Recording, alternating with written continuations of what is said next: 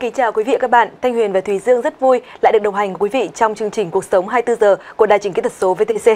Vâng và thưa quý vị, ngày hôm nay chương trình ngày 28 tháng 5 năm 2016 sẽ có những nội dung đáng chú ý sau đây. Bão lớn tàn phá tại bang Texas của Mỹ, nhiều thành phố chìm trong biển nước.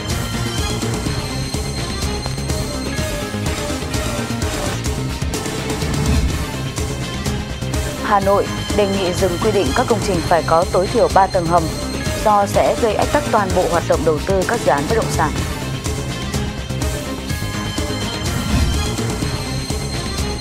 Nhiều trường đại học đang phải tìm các kế sách để thu hút thí sinh do lượng thí sinh đăng ký dự thi ở cụm thi trường đại học giảm nhiều so với năm trước.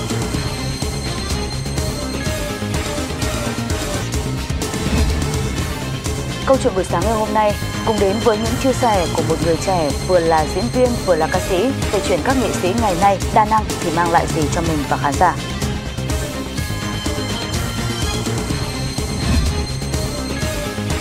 Được đánh giá là khá thú vị, tuy nhiên công nghệ chỉnh sửa gen cũng không dễ để được chấp nhận tại châu Âu.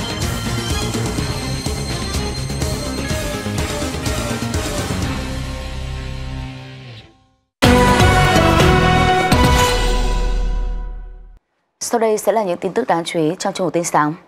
Một trận mưa bão lớn vừa càn quét khu vực Đông Nam bang Texas của Mỹ khiến nhiều thành phố tại đây ngập trong biển nước, gây ảnh hưởng tới đời sống sinh hoạt của người dân nơi đây. Trận bão lớn đã gây ra một hố nước khổng lồ hình thành trong thành phố Brenham, phía bắc Houston. Nhiều chiếc xe đã bị hố nước nuốt chửng. Cơn bão cũng đã khiến cho cây cối bị bật gốc, gây nguy hiểm cho người dân trong khu vực. Tại thị trấn Magnolia, nhiều tuyến đường trở nên ngập lụt khi cơn mưa lớn như chút nước xuống đây. Lượng nước mưa đo được tại khu vực này đã tăng 10 cm.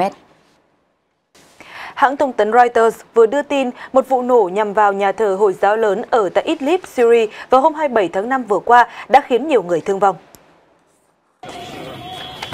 Theo đài quan sát nhân quyền Syria, vụ đánh bom xe nhằm vào nhà thờ Hồi giáo Suyab hiện vẫn chưa có tổ chức nào đứng ra chịu trách nhiệm cho vụ việc này. Các cuộc đụng độ và tấn công trên khắp Syria những tuần gần đây liên tiếp gia tăng trong bối cảnh các cường quốc trên thế giới nỗ lực nhằm đạt được một thỏa thuận ngừng bắn ở miền Tây Syria và hòa đàm Syria vừa thất bại tại Geneva. Idlib nằm ở miền Bắc Syria gần biên giới với Thổ Nhĩ Kỳ, được kiểm soát bởi các nhóm đối lập, trong đó có quân đội Syria, Mặt trận Hồi giáo và Nusra Front. Hàng ngàn người biểu tình hiện nay đang tràn ngập trên các đường phố của Mexico City thuộc Mexico để có thể tưởng nhớ 43 sinh viên được cho là bị giết bởi một băng đảng ma túy vào năm 2014 sau khi cảnh sát địa phương bị cáo buộc là tham nhũng. Để tìm kiếm và tận dụng sự chú ý của cộng đồng quốc tế, những người biểu tình đã tụ tập bên ngoài Đại sứ quán Tây Ban Nha tại thủ đô Mexico City và hô khẩu hiệu công lý.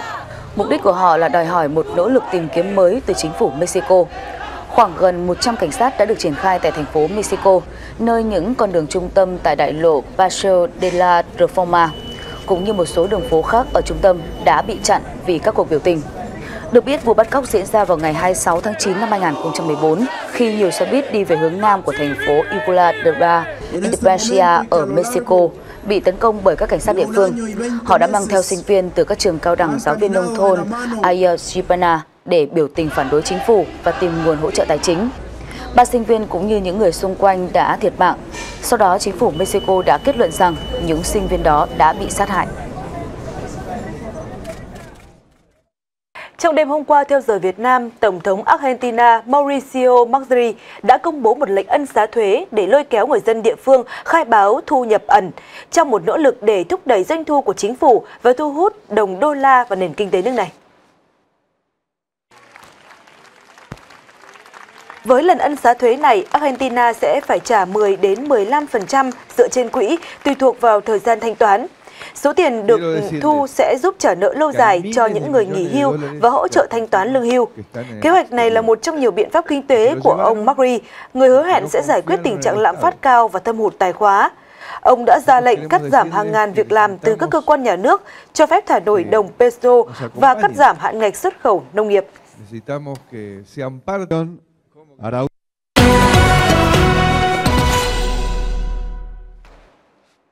Mùa hè là thời điểm của nhiều loại quả đặc sản như là vải thiều hay nhãn. Tuy nhiên thì những người thích ăn vải thiều có lẽ sẽ phải đợi thêm một thời gian nữa khi các địa phương có vùng vải thiều lớn cho biết năm nay dự kiến sẽ thu hoạch vải muộn hơn so với những năm trước. Theo đó, dự kiến thời gian thu hoạch vải thiều năm nay ở Bắc Giang, Hải Dương muộn hơn so với các năm trước. Vụ sớm sẽ khoảng từ ngày 5 đến ngày 20 tháng 6 và vụ chính từ ngày 20 tháng 6 đến ngày 25 tháng 7. Tổng sản lượng tại các địa phương trồng vải thiều trọng điểm trong nước ước khoảng 200.000 tấn. Vải thiều ở Bắc Giang, Hải Dương có đặc điểm thơm ngon, cùi dày, ngày càng được ưa chuộng ở cả trong và ngoài nước. Hàng năm vải thiều chủ yếu được xuất khẩu sang các nước Trung Quốc, Mỹ, các nước châu Âu và Đông Nam Á, trong đó lớn nhất là thị trường Trung Quốc. Những năm gần đây, vải thiều tại các địa phương trên đã được bảo hộ chỉ dẫn địa lý và bảo hộ nhãn hiệu hàng hóa. Ngoài ra, một diện tích lớn vải thiều được sản xuất theo quy trình Việt Gap và Global Gap, đảm bảo chất lượng. Tuy nhiên, việc tìm đầu ra ổn định có giá bán cao hơn vẫn gặp nhiều khó khăn. Khu vực Tây Bắc luôn là điểm nóng về dịch HIV. Mặc dù tỷ lệ nhiễm HIV đã giảm trong 5 năm qua, nhưng nguy cơ lây lan HIV vẫn tiềm ẩn, thậm chí ở một số nơi, tất cả các xã, phường, huyện, thị trấn đều có người nhiễm HIV. Theo đó, hiện nay, khu vực Tây Bắc có khoảng 60.000 người nhiễm HIV cần được chăm sóc, điều trị thường xuyên, liên tục, suốt đời. Mỗi năm, khu vực này có khoảng 3.000 người nhiễm HIV mới và khoảng từ 500 đến 800 người tử vong do HIV/AIDS. Đặc biệt một số địa bàn có nguy cơ dịch HIV toàn thể. Mặc dù nguy cơ dịch cao nhưng việc tư vấn xét nghiệm HIV ở khu vực Tây Bắc còn thấp. Tỷ lệ người nghiện trích ma túy được xét nghiệm HIV trong vòng 12 tháng qua rất thấp, chỉ khoảng 26%. Tỷ lệ phát hiện HIV chỉ đạt 61%. Nguyên nhân của việc tỷ lệ nhiễm HIV tại khu vực này cao là do nhận thức của người dân về HIV/AIDS vẫn còn thấp. Bên cạnh đó, khó khăn về địa lý và sự bất đồng về ngôn ngữ, phong tục tập quán là rào cản lớn ảnh hưởng đến công tác truyền thông. Trước áp lực về chỗ để xe tại các tòa nhà thương mại cũng như tòa nhà chung cư trên địa bàn thành phố, mới đây Thành ủy Hà Nội đã có thông báo số 83 về việc triển khai một số nhiệm vụ trọng tâm trong thời gian tới, trong đó có nội dung trong thiết kế và xây dựng phải bố trí 3 tầng hầm để xe, xây dựng nhà vệ sinh công cộng phục vụ dự án và nhu cầu chung của thành phố. Ngay sau khi thông báo được phát đi, đã có rất nhiều phản hồi, hoài nghi về tính khả thi của chủ trương này. Với chủ trương này, hầu hết người dân đều rất ủng hộ. Tuy nhiên, thay vì bắt buộc các chủ đầu tư phải xây dựng 3 tầng hầm, nhiều ý kiến cho rằng nên chăng chỉ cần yêu cầu các doanh nghiệp đáp ứng đủ nhu cầu để xe cho cư dân của tòa nhà. Thay vì ba tầng hầm, người ta mình chỉ cần yêu cầu họ đáp ứng đủ cái chỗ mà đỗ xe cho cư dân trong tòa nhà và những cái à, đơn vị đến làm việc uhm, như như vậy là tôi cho rằng là đủ bởi vì chúng ta có thể đưa nó lên tầng 2, tầng 3, tầng 4, tầng 5 Đấy. thì việc mà xây tầng nổi về vận hành lẫn à, về quản lý và chi phí thì nó đều là còn rẻ hơn à, mình à, sử dụng ở tầng hầm. Theo tính toán của nhiều chủ đầu tư, để xây một tầng hầm chi phí sẽ tăng lên hệ số khoảng 1,1 và càng tăng tầng hầm thì hệ số chi phí đầu tư sẽ tăng càng nhiều hơn. Theo cái tính toán ừ, kinh nghiệm của chúng tôi thì nó sẽ tăng lên hệ số khoảng ờ, 1,1 ừ, đến hơn 1,1 gì đó và càng thêm tầng hầm ờ, thì cái hệ số nó càng tăng lên nhiều hơn. Ừ, ở đây nếu một công trình mà phải sử dụng đến 3 tầng hầm thì Ờ, có thể là cái hệ số ờ, chi phí đầu tư nó sẽ tăng lên khoảng 1,3 đến 1,5 lần. Thì như vậy cũng là một cái đội giá thành. Theo cơ chế thị trường những cái khu trung tâm thành phố thì có thể mình không bắt người ta xây ba ba ba tầng hầm nhưng người ta có thể xây đến 5 tầng hầm. Nhưng mà đối với những cái khu chung cư hoặc là khu thương mại mà cách xa trung tâm chẳng hạn như là ngoài ngoài ngoại vi chẳng hạn ấy mà xây tầng hầm bây giờ thì nó đội giá lên rất cao giá trong khi đó chỉ bán trên dưới 20 triệu không bán được thậm chí có những chỗ hơn 10 triệu không bán được. Và cái cái cái kết cấu hạ tầng như chúng ta biết là cái tầng hầm nó nó nó nó nó chiếm một cái cái cái cái cái giá cả rất cao trong cái tòa nhà. Có những cái tòa nhà nó chiếm tới 30% Trước vấn đề này, ông Nguyễn Trần Nam, nguyên Thứ trưởng Bộ Xây dựng cho rằng thông báo mà Sở Quy hoạch Kiến trúc ban hành quá sơ sài, đại khái và không có các tiêu chí cụ thể rõ ràng. Các cái dự án theo tôi là Ờ, sở quy hoạch kiến trúc Hà Nội là nên là tham mưu cho ủy ban nhân dân thành phố. Làm sao chúng ta phải đưa ra được một cái ờ, quy chế, bổ sung một quy chế mới và tham khảo ý kiến của các hiệp hội cũng như là của các doanh nghiệp.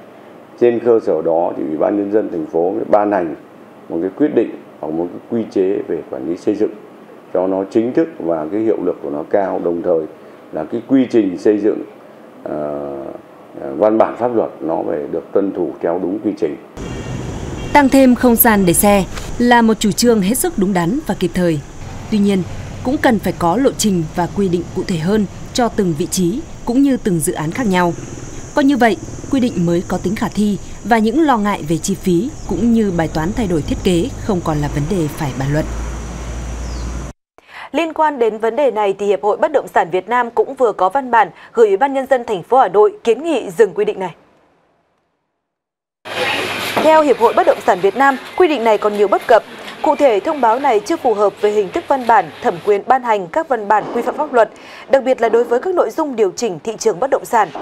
Bên cạnh đó, thông báo không quy định rõ về quy mô, vị trí, tính chất công trình, dự án như ở nội đô, ngoại thành hay nhà ở xã hội, nhà ở thương mại.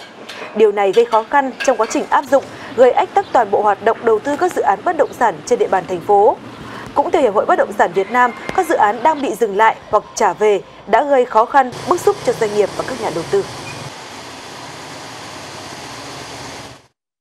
Tạp chí danh tiếng Forbes vừa công bố danh sách Global 2000 gồm các công ty đại chúng lớn và quyền lực nhất trên thế giới dựa trên các tiêu chí là doanh thu, lợi nhuận, tài sản và giá trị thị trường. Đáng chú ý là có 3 ngân hàng và loại lớn nhất của Việt Nam cũng đã lọt vào danh sách này. Ba đại diện của Việt Nam năm nay vẫn là Ngân hàng Công thương Vietinbank, Ngân hàng Đầu tư và Phát triển BIDV và Ngân hàng Ngoại thương Vietcombank. Thứ hạng của cả ba đều tăng so với năm ngoái.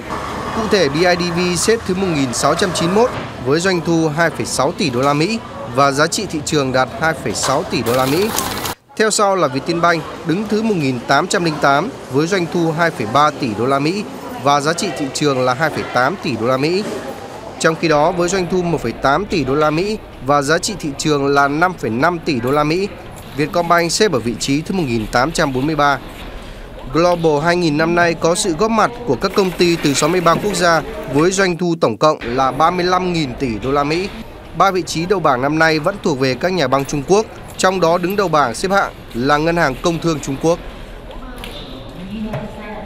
Vượt qua 5.000 khách sạn trong hệ thống thương hiệu quản lý khách sạn sang trọng hàng đầu trên thế giới, khu nghỉ dưỡng Intercontinental Đà Nẵng đã lọt vào danh sách chuỗi khách sạn xa xỉ nhất thế giới do trang tin tức CNN của Mỹ bình chọn. Khu nghỉ dưỡng này là kết tinh giữa những giá trị thẩm mỹ văn hóa đặc trưng của người Việt và sự sang trọng đẳng cấp theo tiêu chuẩn hàng đầu trên thế giới. Khu du lịch có hơn 180 phòng mở tầm nhìn ra vịnh biển riêng với nội thất gỗ, lụa thêu tay và những vật liệu thủ công được chế tác cầu kỳ từ nhiều địa phương. Từ nhiều năm nay, khu nghỉ dưỡng đã trở thành điểm đến của các chính trị gia, doanh nhân, những nhân vật quan trọng hàng đầu thế giới. Nơi đây đã được lựa chọn để tổ chức nhiều sự kiện quan trọng. Bảng bình chọn của CNN có 8 khách sạn, khu nghỉ dưỡng nằm tại các quốc gia là Pháp, Brazil, Ý, Nhật Bản và Mỹ.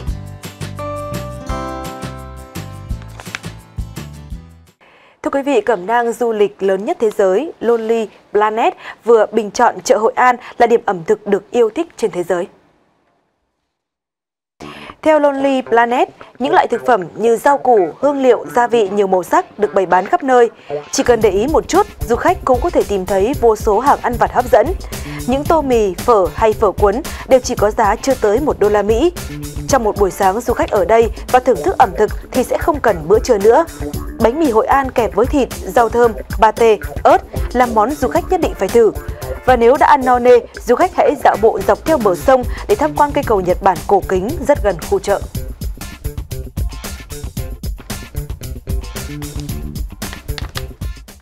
Nhằm tránh tình trạng lách luật đỗ vào trường điểm thấp sau đó chạy sang trường điểm cao, Sở Giáo dục Đào tạo Hà Nội đã ban hành quy định học sinh trúng tuyển vào lớp 10 trường trung học phổ thông công lập nào phải học hết cấp học tại trường đó. Trường hợp phát sinh trong quá trình học cần phải chuyển trường phải được ờ, Giám đốc Sở Giáo dục Đào tạo Hà Nội cho phép mới được chuyển trường. Lý giải về việc này, Sở Giáo dục Đào tạo Hà Nội cho biết điểm chuẩn các trường ở Hà Nội rất vênh nhau. Có trường tuyển sinh đầu vào 55 điểm nhưng có trường chỉ là 23 điểm. Quy định này nhằm tránh tình trạng sau một học kỳ, phụ huynh chuyển học sinh từ trường 23 điểm lên trường 55 điểm, trong khi năng lực học sinh chưa đạt chuẩn chung của trường đó, vừa gây xáo trộn hoạt động dạy và học của các trường, vừa không đảm bảo công bằng với các thí sinh khác. Trước đó, ngành giáo dục Hà Nội cũng có quy định siết chặt việc kiểm tra học bạ nhằm ngăn chặn việc làm đẹp học bạ, sửa điểm cho học sinh trung học cơ sở để tăng cơ hội khi xét tuyển vào trung học phổ thông. Thưa quý vị, chỉ còn hơn một tháng nữa là diễn ra kỳ thi Trung học phổ thông quốc gia 2016. Kỳ thi được xem là quan trọng nhất và quy mô nhất của chúng ta. 12 năm đèn sách của các sĩ tử cũng được quyết định trong kỳ thi này. Vâng và theo thống kê của Bộ Giáo dục Đào tạo thì số lượng thí sinh đăng ký dự thi ở cụm thi trường đại học giảm xuống còn một nửa so với năm 2015. Và đây là tín hiệu vui của công tác phân luồng học sinh trong trường trung học phổ thông, điều mà trước nay chúng ta vẫn làm yếu. Nhưng nó thì lại là một nỗi lo lắng của rất nhiều các trường đại học tốt dưới và trường ngoài công lập. Điều đó có nghĩa là các trường tốt dưới này sẽ phải chuẩn bị kỹ càng hơn những kế sách để có thể thu hút các thí sinh đăng ký vào trường. lập cả một đội tư vấn tuyển sinh dành cho các sĩ tử. Hay ký các hợp đồng liên kết với các doanh nghiệp để đào tạo. Thậm chí, tặng máy tính cho các thí sinh khi đăng ký tuyển sinh vào trường trong tháng 5 và tháng 6 này. Chưa hết, năm nay, trường Đại học Nguyễn Trãi còn sử dụng kết quả kỳ thi đánh giá năng lực của Đại học Quốc gia Hà Nội để xét tuyển thêm với hy vọng gỡ rối được những khó khăn về nguồn tuyển. Đó là một số cách mà trường này đang làm để thu hút thí sinh chú ý tới trường mùa tuyển sinh năm 2016. Nhà trường tạo là một cái cộng đồng, nó khoảng 6.000 bạn học sinh tham gia. Cộng đồng đó thì nó sẽ vào để à, cái thứ nhất là các em vào giao lưu, chia sẻ với nhau về các vấn đề kinh nghiệm học tập. Cái thứ hai là chúng tôi có một hệ thống chuyên gia để tư vấn cho các em trên đó là cách lựa chọn ngành nghề rồi trắc nghiệm như nào để chọn cho mình một cái nghề phù hợp và cuối cùng chúng tôi tư vấn thêm những cái mô hình đào tạo Cuộc đua chiêu sinh không phải tới tận bây giờ các trường top dưới mới bắt đầu thực hiện mà đã được các trường này triển khai từ cách đây nhiều tháng. Chúng tôi đã đi xuống các tỉnh thì mình đến đấy thì đã thấy một số cái trường công lập người ta đến trước mình rồi. Đấy họ cũng đã tuyên truyền cũng khá rồi. Đấy, thế rồi cũng là tham gia các cái hội trợ tuyển sinh thì cũng có. Thế nhưng mà mỗi trường theo một cách khác nhau. Thế thì chúng tôi cũng thấy là họ cũng đến trường mình nhiều. Nhưng một cái số thí sinh có đến vào trường mình hay không thì cái đó còn phải theo nguyện vọng của thí sinh. Theo thống kê, năm 2016, nhiều thí sinh chỉ chọn thi Trung học phổ thông quốc gia để tốt nghiệp thay vì lấy kết quả đó để xét tuyển lên cao đẳng và đại học. Nhiều địa phương có tới 70% thí sinh đăng ký dự thi chỉ để xét tốt nghiệp, có thể kể đến như Hòa Bình, Hà Giang hay Vĩnh Phúc. Ngay cả tại Hà Nội, năm nay cũng có sự khác biệt – có hơn 16.000 trong tổng số 76.000 thí sinh chọn thi tốt nghiệp, tăng tới 11.000 em so với năm 2015. Là cái tình hình xã hội như bây giờ là chị có thể thấy là là là các cháu ra trường thất nghiệp nhiều quá. Đấy và đó là cái nguyên nhân mà bây giờ uh, các học sinh tốt nghiệp trung học phổ thông người ta lựa đến khoảng 50% là lựa chọn uh, đi học nghề rồi uh, đi du học rồi đi xuất khẩu lao động hoặc là thậm chí là ở tại địa phương mà đi làm công nhân luôn. Năm nay thì các cái trường công lập cũng có cái phương án tuyển sinh bằng xét học bạ đấy là cái mà chúng tôi cho rằng là các cái trường ngoài công lập khó có thể là so sánh được với lại các trường công lập Thí sinh xét tuyển vào đại học đã được dự báo là giảm mạnh và năm nay các trường đại học công lập cũng chiêu sinh bằng xét tuyển học bạ. Trong khi các trường đại học tốt dưới tuyển sinh chủ yếu dựa vào hình thức này. Điều đó có nghĩa rằng miếng bánh đã nhỏ, nay lại bị chia năm xẻ bảy. Năm 2015, nhiều trường top dưới chỉ tuyển được chưa đầy một nửa chỉ tiêu. Như Đại học Nguyễn Trãi chỉ tuyển được hơn 40% thí sinh. Đại học Kinh doanh và Công nghệ Hà Nội là hơn 50% chỉ tiêu. Năm nay, cuộc đua để chiêu mộ sinh viên cho các trường đại học top dưới hứa hẹn còn gay cấn hơn trong những ngày tới đây.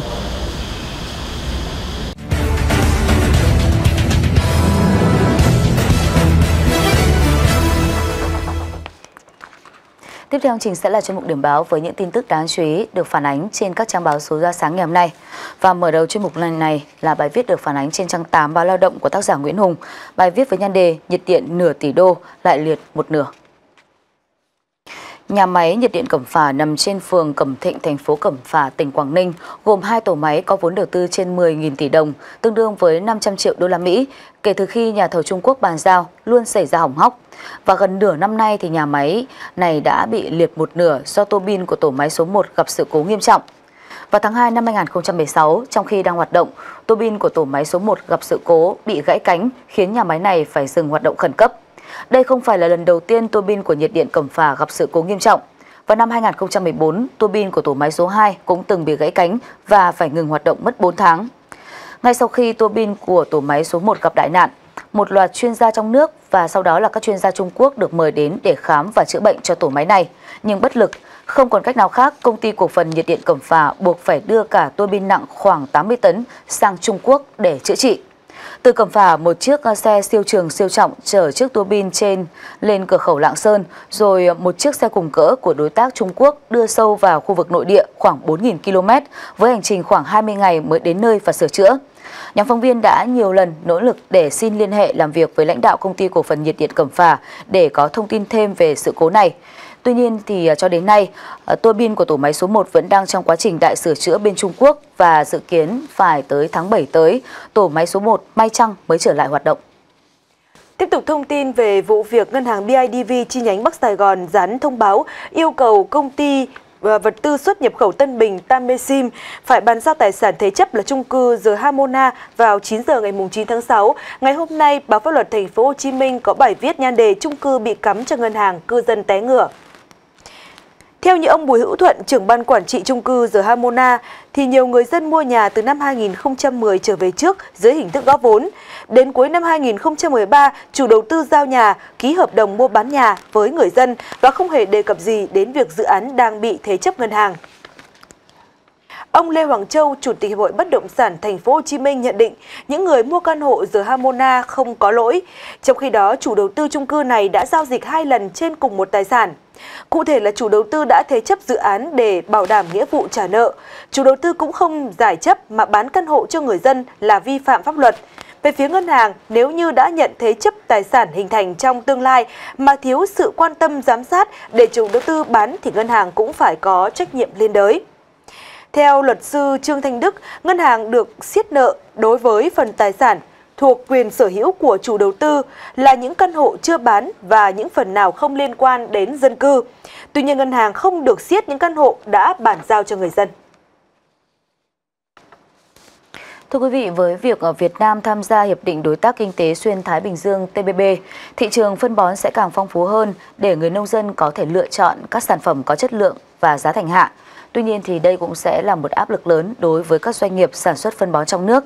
Trên trang 10 và trang 11 báo Nông thôn ngày nay có bài viết phản ánh về câu chuyện này, bài viết với nhan đề Thị trường phân bón khi Việt Nam gia nhập TPP, nhà nông lợi, doanh nghiệp bất an. Thông tin trên được Bộ Công Thương đưa ra tại Hội thảo quốc tế về thị trường phân bón NBK Việt Nam 2016 diễn ra tại thành phố Hồ Chí Minh trong 2 ngày, ngày 25 và ngày 26 tháng 5. Cuộc đổ bộ của thị trường ASEAN ngày càng gai gắt khiến cho các doanh nghiệp sản xuất phân bón trong nước cực kỳ áp lực. Đại diện một doanh nghiệp sản xuất phân bón đóng tại tỉnh Bình Dương nói rằng, hiện nay luật thuế giá trị gia tăng sửa đổi đưa phân bón về danh mục không chịu thuế giá trị gia tăng, khiến các doanh nghiệp trong nước không được hoàn thuế đầu vào, gián tiếp nâng chi phí sản xuất dẫn đến tăng giá thành.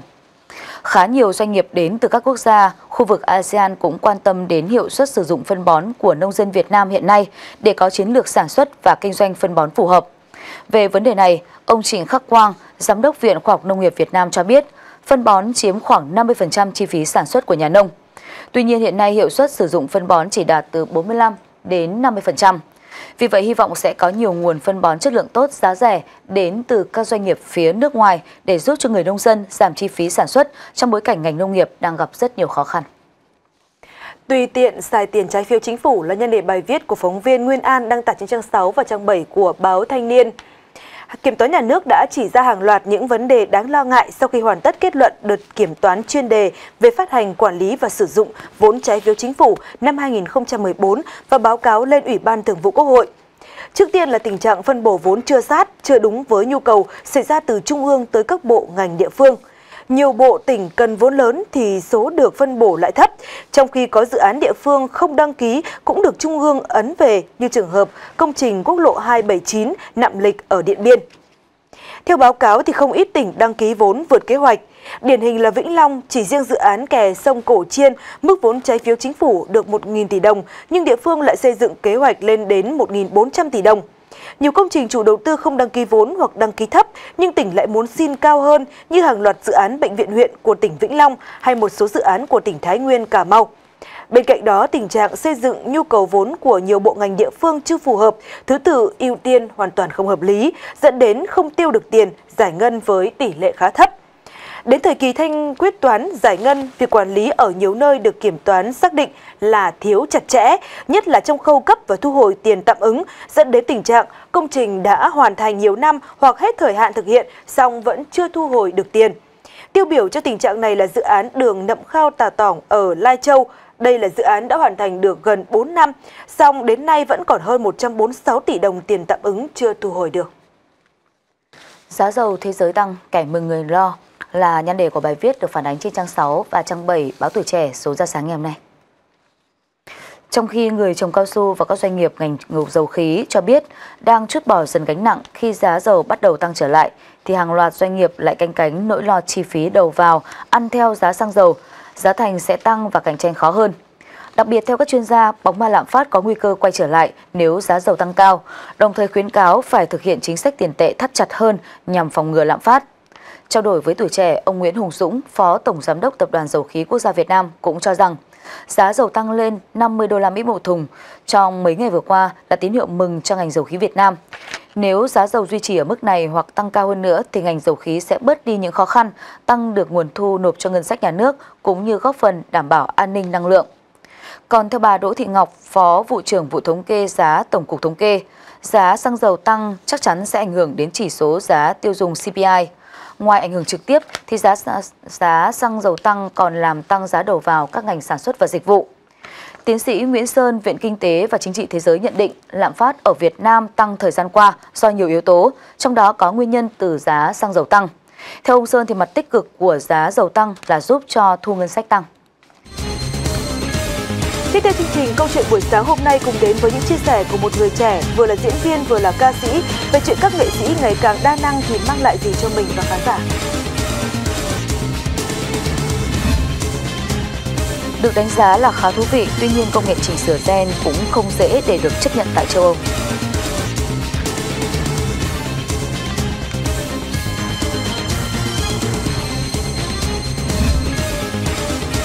Đặt chiếu phim mở cửa bất hợp pháp dưới gầm cầu, cơ hội thưởng thức điện ảnh của người nghèo Ấn Độ.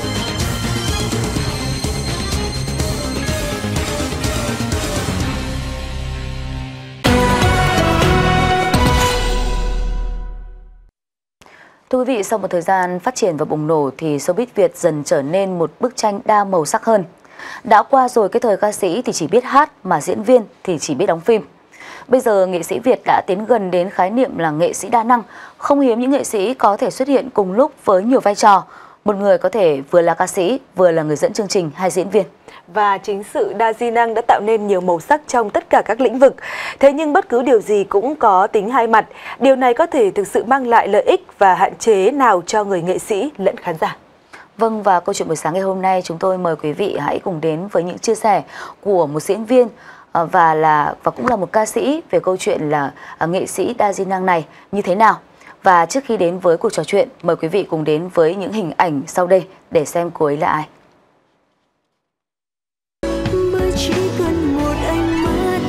Trương Quỳnh Anh là một cái tên không còn mấy xa lạ với người hâm mộ. Quỳnh Anh ghi được dấu ấn nhất định trong vai trò ca sĩ và diễn viên.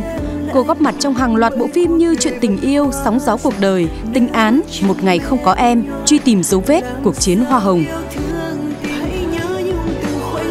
Khi đang ở giai đoạn sung sức và thành công của sự nghiệp thì người ta bỗng thấy Trương Quỳnh Anh lui về ở ẩn khi có em bé với ca sĩ Tim. Sau khi con trai được 4 tuổi, Trương Quỳnh Anh trở lại showbiz với hình ảnh chín chắn quyến rũ hơn. Năm 2015, sau 10 năm nỗ lực cống hiến cho nghệ thuật, Quỳnh Anh đã được trao giải nữ diễn viên được yêu thích, ngôi sao xanh dành cho diễn viên truyền hình. cô cũng hoàn toàn lột xác với vai Nhi trong bộ phim Nữ đại gia với hình ảnh quậy phá nghịch ngợm, rũ bỏ hình ảnh dịu dàng thường thấy trước đây.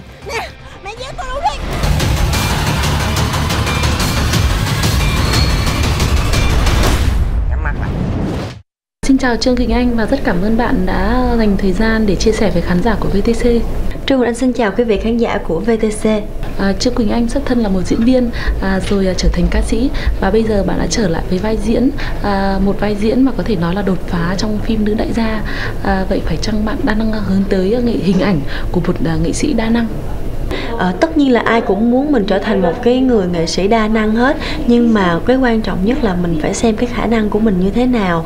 Chẳng hạn như là uh, sau khi mà anh làm ca sĩ và anh làm diễn viên xong thì cũng có rất là nhiều người uh, mời Quỳnh Anh đi làm MC rồi uh, mời Quỳnh Anh tham gia những cái game show nhưng mà nó thực sự không thuộc về cái lĩnh vực của mình nó không thuộc cái sở trường của mình. Thì Quỳnh Anh cũng đã từ chối bớt và Quỳnh Anh khi nào mà anh cảm thấy đủ tự tin với cái khả năng của mình với cái vai trò đó thì mình mới làm.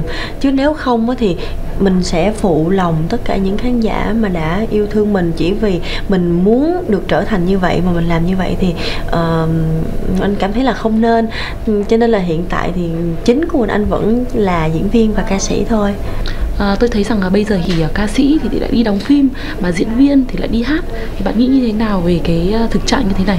Quỳnh Anh cũng thấy đây là một cái điều ờ, khá là bất công bởi vì là uh, có nhiều các bạn uh, diễn viên chuyên nghiệp diễn lâu rồi nhưng mà không có tên không uh, mọi uh, không được yêu mến nhiều. Nhưng mà chỉ cần một cái bạn ca sĩ bạn đang rất là hot thì tự nhiên là bạn sẽ được uh, mời vào một cái vai chính trong một cái bộ phim.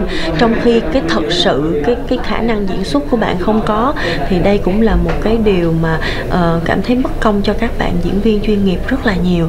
Nhưng mà um, bởi vì là khán giả Việt Nam của mình thì cũng khá là uh, cũng cũng có một một số khán giả cũng khá là dễ tính á. Cho nên là Tức là thần tượng của họ ừ, họ gì họ thần tượng quá rồi cho nên là làm điều gì thì họ cũng yêu thích hết. Thì cái đó thì mình cái đó là ngoài tầm kiểm soát của mình rồi mình không biết được. Với lại là một phần nữa thì mình cũng phải thông cảm cho cái nhà sản xuất. Ví dụ như bạn diễn hay à, nhưng mà bạn không có một cái cái tên của bạn không có thu hút khán giả thì họ cũng không thể nào bán vé được. Cho nên là nó để trở thành một cái người nghệ sĩ hot là phải phải vừa uh, có khả năng và phải uh, vừa um, có một cái sức hút đối với khán giả nữa thì um, mới mới mới mới có thể uh, sống lâu được ở trong nghề. Còn nếu như mà bạn uh, nhưng mà Quỳnh Anh nghĩ là cái người mà khi mà họ đã đam mê nghệ thuật thật sự rồi á thì có những khi không phải là là lúc nào họ lớn sân cũng là một cái sự sai lầm mà có nhiều khi khi họ lớn sân sang đó và họ mới phát hiện được khả năng của mình là một cái lĩnh vực khác nữa họ mới phát hiện là mình cũng có đam mê ở cái lĩnh vực này thì mình anh vẫn ờ, rất là ủng hộ. À, thử so sánh một chút với cả hai lĩnh vực nha đó là ca sĩ và diễn viên. Thì ờ, tôi thấy rằng là hình như là cái lĩnh vực điện ảnh là được lấn sân sang nhiều hơn. Các bạn ờ, ồ ạt đi đóng phim các ca sĩ bây giờ đóng phim rất nhiều. Phải chăng là nghề diễn diễn viên nó dễ đến như thế? Quỳnh Anh nghĩ diễn viên không hề dễ tí nào. Ngay cả bản thân của Quỳnh Anh khi mà đã tham gia phim 10 năm rồi, Thì nếu bạn nói dễ thì nó sẽ rất dễ. Nếu bạn nói khó thì nó sẽ rất khó. Bởi vì là phim là thật Và các bạn các bạn cảm thấy dễ Bởi vì các bạn cứ bê nguyên si người của các bạn vào đó Và cái cái cái cái um, bình thường các bạn nói chuyện như thế nào các bạn cứ bê nguyên si vào đó thì tất nhiên là các bạn sẽ thấy dễ nhưng mà đâu phải các bạn chỉ diễn một loại vai đó mà các bạn sẽ phải thể hiện nhiều loại vai khác nhau chẳng hạn như bây giờ các bạn đang rất trẻ bắt các bạn đóng vai già các bạn phải suy nghĩ các bạn phải phải phải nghiên cứu bởi vì là cái diễn viên là nó vô tận lắm các bạn sẽ hóa thân vào bất kỳ một cái người nào mà thậm chí các bạn sẽ hóa thân vào một con vật nào đó nữa chứ nó không đơn giản chỉ là một cô gái xinh đẹp hay một chàng trai bảnh bao cho nên nó là một cái mà để mình học hỏi cả đời. Và chính bản thân mình anh cũng vậy. Và ở mỗi giai đoạn, ở mỗi cái thời điểm thì mình sẽ khám phá bản thân mình ở ở những cái góc độ khác nhau nữa. Thì à, dễ hay khó còn tùy thuộc vào bản thân của các bạn đó và tùy thuộc vào khả năng nữa. Mà nếu như là bạn lớn sân qua, bạn cảm thấy là đây cũng là một cái niềm đam mê của bạn, thì tự bản thân bạn sẽ sẽ sẽ học hỏi mỗi ngày.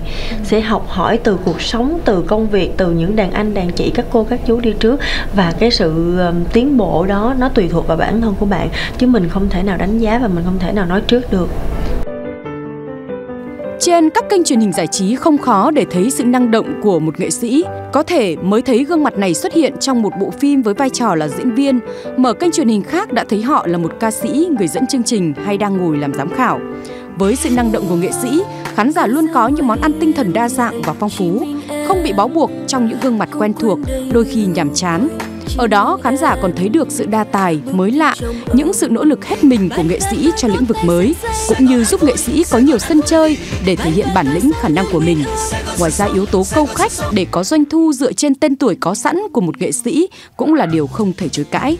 Chính vì vậy, đôi khi người ta không quan tâm đến chất lượng mà chỉ muốn dựa vào bề nổi để gây chú ý là điều hiển nhiên. Ngoài những nghệ sĩ thành công khi lấn sân như Hồ Ngọc Hà, từ người mẫu thành ca sĩ, Minh Hằng từ ca sĩ sang diễn viên, Quyền Linh thành công với vai trò dẫn chương trình, thì nhiều nghệ sĩ nổi tiếng dù đang được yêu thích cũng có thể bị ném đá như thường. Phong trào người đẹp hát từ Trương Ngọc Ánh, Trịnh Kim Chi không thành công. Hoa hậu Jennifer Phạm cũng từng bị ném đá khi mắc phải sự kém duyên, phản ứng chậm hoặc có những bước xử lý tình huống chưa tốt. Ca sĩ Mỹ Tâm sau khi đảm nhận vai Linh Đan trong bộ phim Trong một tình yêu từng bị chê te tua vì diễn xuất chưa có hồn, gượng gạo.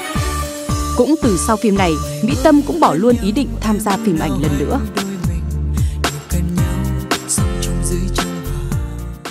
Một nghệ sĩ thì à, khi mà họ làm nhiều nghề thì chắc chắn là cái thu nhập của họ sẽ à, cao hơn rồi và nhiều khi là cái nghề phụ còn mang đến thu nhập còn nhiều hơn cả cái nghề chính. Và đó có phải là một trong những nguyên do mà các nghệ sĩ Việt của chúng ta bây giờ à, hướng tới rất nhiều nghề có nhiều bạn á bọn anh thấy ờ, cũng không phải là cái thu nhập là một cái cái vấn đề chính đâu. Bởi vì là gia đình của bạn các bạn cũng ừ, đã khá sẵn rồi và các bạn chỉ là đam mê và các bạn đi theo thôi. Còn như ờ, chính bản thân Quỳnh Anh đó thì là uh, mình uh, hoạt động nghệ thuật. Và ngay từ những bước đầu tiên khi mà anh mới bước chân vào nghệ thuật á, thì gia đình cũng không phải là ừ, khá giả gì lắm. Nhưng mà ba mẹ Quỳnh Anh có dạy Quỳnh Anh là cuộc sống của mình thì cái điều quan trọng nhất chính là hạnh phúc và cái ý nghĩa của cuộc sống của mình chứ không phải là vật chất. Cho nên Quỳnh Anh Quỳnh Anh cũng đã rất là nhiều đêm suy nghĩ cho bản thân mình. Thì Quỳnh Anh nghĩ cái nghệ thuật ca hát và điện ảnh chính là niềm đam mê thật sự của Quỳnh Anh. Cho nên khi mà Quỳnh Anh hoạt động nghệ thuật thì có nhiều khi Quỳnh Anh cũng tiền thì cũng quan trọng đó. Nhưng mà Quỳnh Anh sẽ xếp nó sau cái đam mê của mình. Ví dụ một cái vai diễn mà Quỳnh Anh rất là yêu thích nhưng mà nhà sản xuất không có khả năng để để uh, gửi cho Quỳnh Anh một cái cách xe nhiều thì Quỳnh Anh sẽ bớt lại để Quỳnh Anh có thể thực hiện được cái niềm đam mê của mình có thể vào vai diễn mà mình yêu thích. Nhưng một nghệ sĩ đứng trên sân khấu mà thể hiện quá nhiều lĩnh vực vậy đấy có phải là mầm mống cho một thảm họa không? Ừ, Quỳnh Anh cũng nghĩ đó là một phần. Bởi vì là một người thì không thể nào làm quá nhiều việc. Mỗi thứ mình chỉ một chút thôi mình không có thời gian để mà mình tập trung vào nó nhiều. Mình suy nghĩ đến nó nhiều thì sẽ không có cái gì ra cái gì. Mặc dù là cái khả năng của mình là ca hát hay đóng phim cũng vậy. Nhưng mà nếu như mà mình mình dành bớt thời gian của mình cho những cái khác nữa thì mình sẽ uh, mình sẽ bị mai một trong cái cái khả năng của mình luôn. À, trong gia đình của bạn thì có một sự uh, ngưỡng một chút. Ví dụ như là Quỳnh Anh thì uh, từ diễn viên thành ca sĩ. Còn ông xã của bạn thì từ là uh, ca sĩ rồi thành diễn viên. Phải chăng là khi mà mình yêu uh, người đó thì mình yêu luôn cả nghề của người ta? Uh, Quỳnh Anh thì làm ca sĩ trước khi gặp anh Tim Làm ca sĩ diễn viên trước khi gặp anh Tim à còn anh tim thì cũng vậy, có nghĩa là khi mà hai người cùng tham gia phim chung với nhau thì mới là cái thời gian gặp nhau lần đầu à, còn cái ờ, khi yêu người đó thì mình yêu luôn nghề ấy, thì thật sự ra trước tiên mình phải yêu cái nghề đó trước đã. Bởi vì nếu mà mình không yêu nghề thì mình sẽ không làm được đâu. Bởi vì cái nghề này á khi mà mọi người nhìn vào thì nó là một cái gì đó nó rất là sung sướng nó rất là tỏa sáng. Nhưng mà bạn ừ, đằng đằng đằng sau cái nghề này thì nó có rất là nhiều cái mà mình ấm ức ở trong lòng nhưng mà mình không thể nào nói được. Và phải là một người mạnh mẽ lắm thì mình mới có thể vượt qua được. Và không chắc anh không chắc là ai cũng có thể vượt qua được đâu uh, khi mà làm một nghệ, người nghệ sĩ thì bạn ờ, sẽ được rất là nhiều người chú ý. Đó là một cái niềm hạnh phúc của người nghệ sĩ nhưng mà bên cạnh đó thì nó cũng là một cái điều bất lợi cho mình. Bởi vì là mình sẽ không còn được tự do nữa thì bạn phải vượt qua được những lúc đó để bạn ừ, enjoy với cái cuộc sống của bạn. À, vậy trong ờ, năm 2016 này thì Quỳnh Anh có những dự án gì về âm nhạc không? Và sau cái bộ phim Nữ Đại gia này thì bạn có tiếp tục tham gia bộ phim nào nữa không?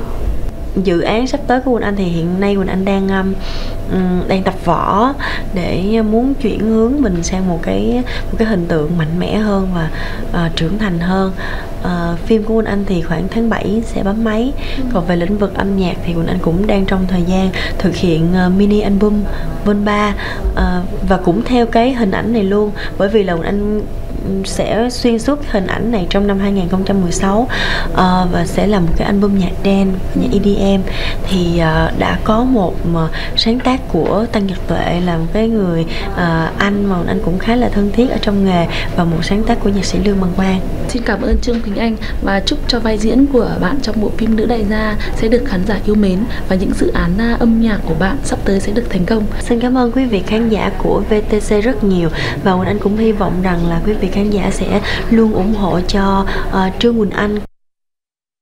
Vâng, thật khó để trả lời câu hỏi có nên xây dựng hình ảnh nghệ sĩ đa năng hay không. Nghệ sĩ đa năng chỉ thực sự phù hợp với những người có khả năng thiên phú ở nhiều lĩnh vực. Cha ông ta từng nói quý hổ tinh bất quý hổ đa, tức là biết ít mà tinh còn hơn là biết nhiều mà không sâu sắc. Vâng và với mỗi một nghệ sĩ, trước khi quyết định thử sức ở một lĩnh vực nào đó thì cần phải xem xét khả năng và thế mạnh của chính mình. Ngay cả một nghệ sĩ đa năng cũng cần phải không ngừng trau dồi bản thân để tài năng thực sự tỏa sáng. Thưa quý vị và vừa rồi cũng là nội dung câu chuyện buổi sáng của chúng tôi trong ngày hôm nay. Ở phần tiếp theo của chương trình, mời quý vị và các bạn cùng theo dõi một số những thông tin và sự kiện dự kiến sẽ diễn ra trong ngày hôm nay, ngày 28 tháng 5.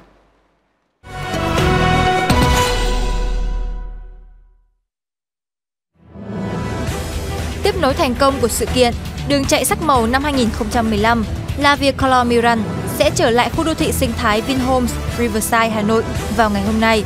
Chương trình là lễ hội sắc màu ngoài trời lớn nhất Việt Nam, tổ chức thường niên và được giới trẻ hưởng ứng nhiệt tình.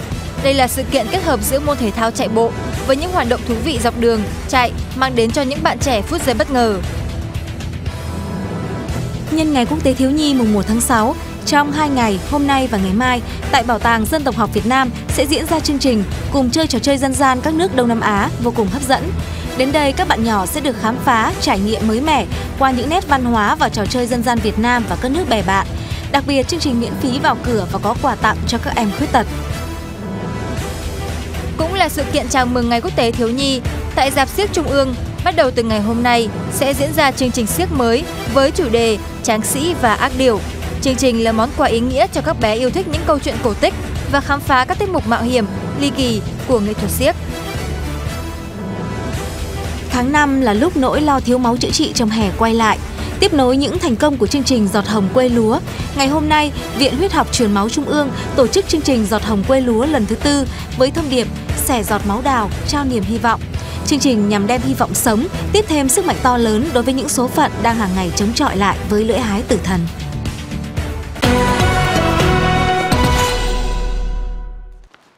Thưa quý vị, có lẽ chúng ta đã không còn quá xa lạ đối với công nghệ biến đổi gen, vốn cho phép thay đổi cấu trúc gen của cây trồng vật nuôi để có thể tạo ra những giống mới ưu việt hơn.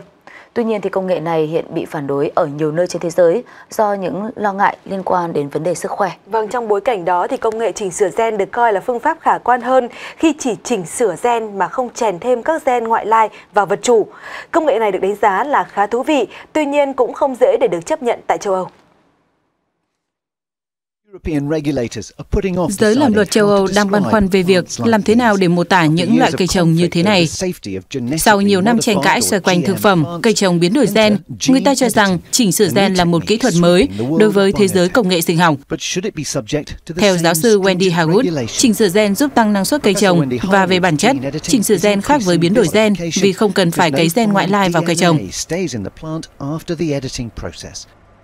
Phương pháp này hoàn toàn khác với biến đổi gen, loại công nghệ cấy gen trội và vật chủ. Trong khi đó, chỉnh sửa gen chỉ tạo ra một sự thay đổi nhỏ ở cây trồng.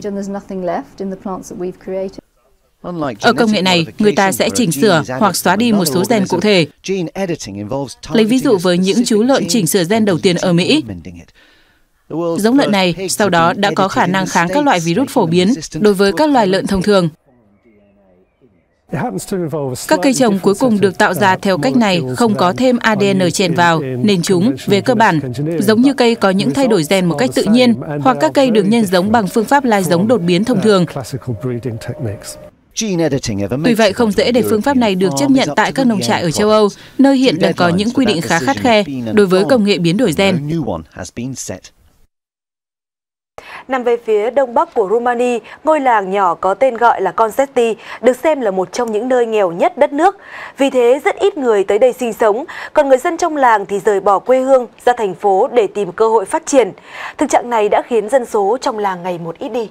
Nhằm khắc phục được tình trạng này thì chính quyền tại địa phương đã thực hiện kế hoạch tái định cư mới, qua đó thì thu hút người dân đến sinh sống. Trong số này có rất nhiều người là những bà mẹ đơn thân hoặc những người phụ nữ từng bị chồng bạo hành, đánh đập, phải tìm cách trốn chạy để xây dựng một cuộc sống mới.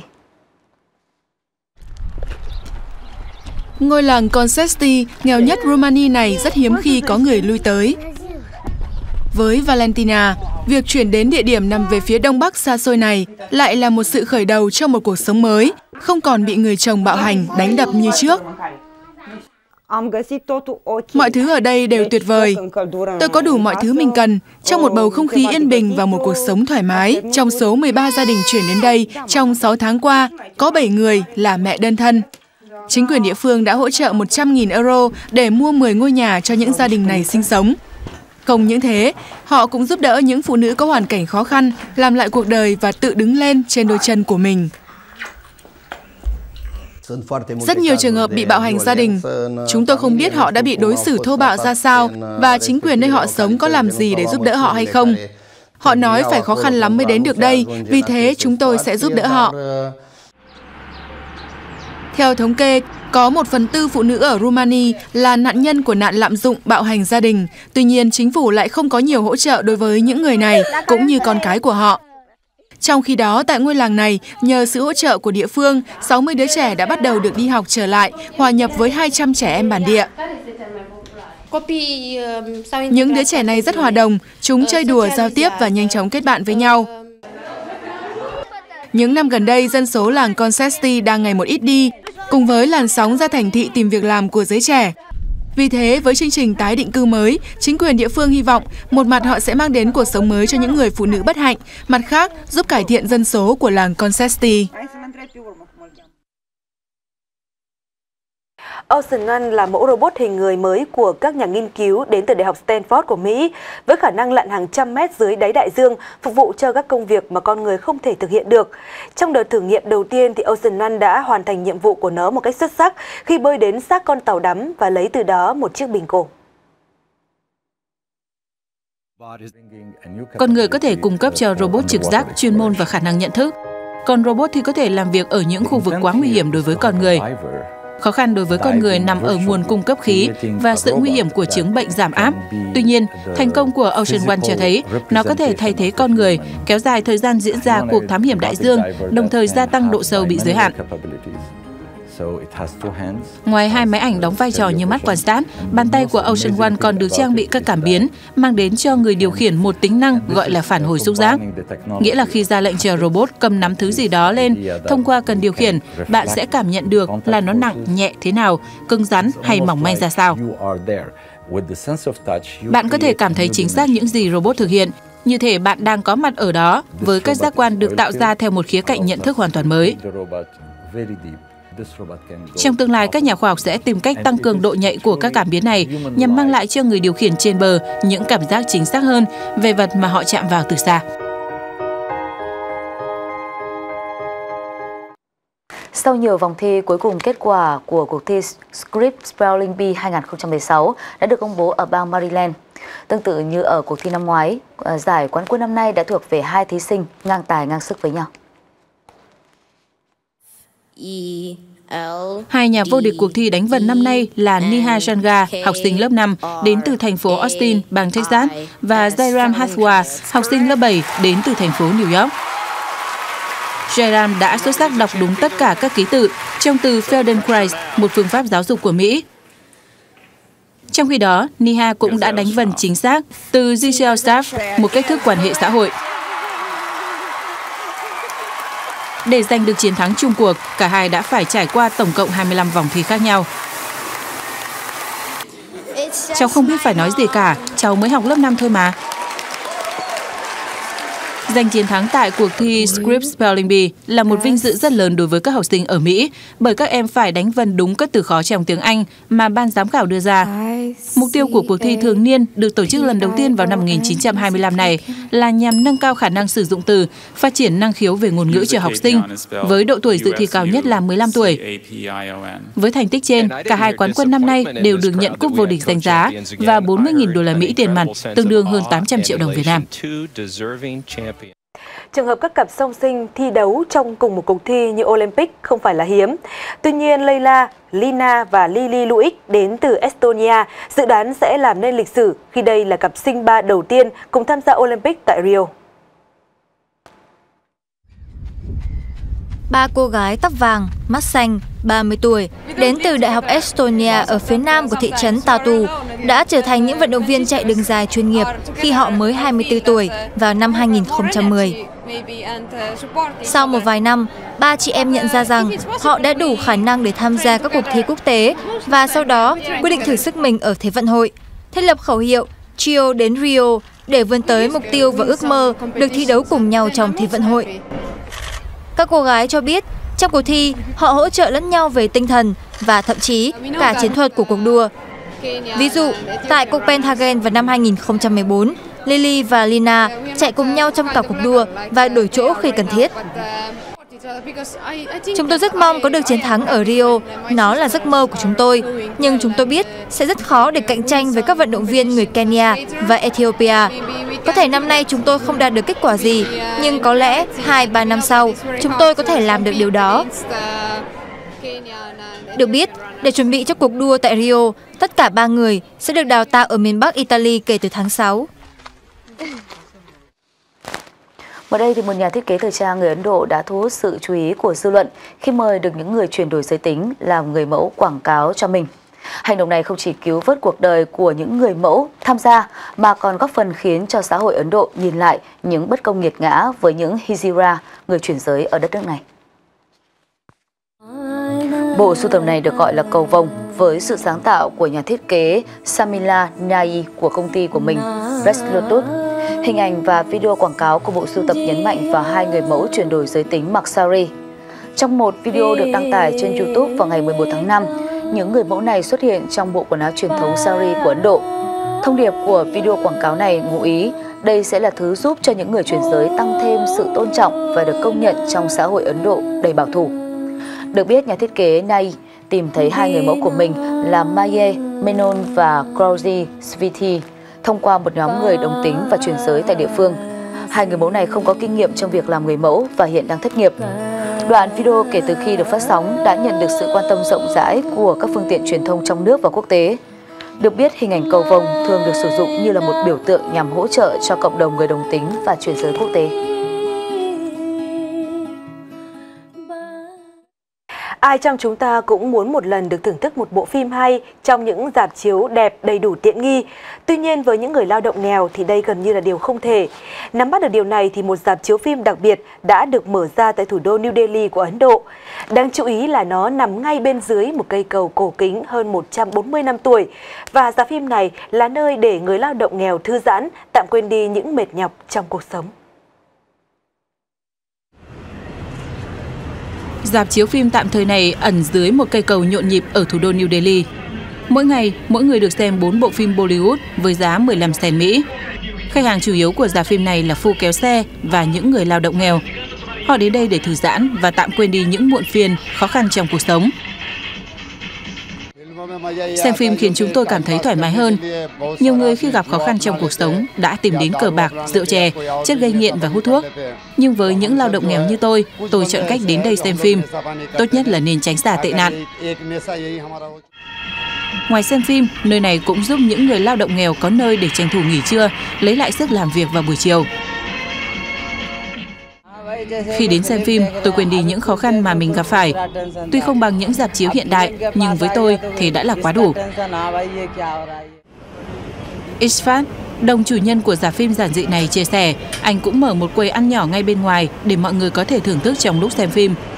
Tuy vậy, giả phim này mở cửa bất hợp pháp, nên có thể bị chính quyền đóng cửa bất cứ lúc nào. Vâng và thông tin quốc tế vừa rồi cũng đã khép lại chương trình cuộc sống 24 giờ ngày hôm nay của chúng tôi. Cảm ơn quý vị đã quan tâm theo dõi. Xin kính chào tạm biệt.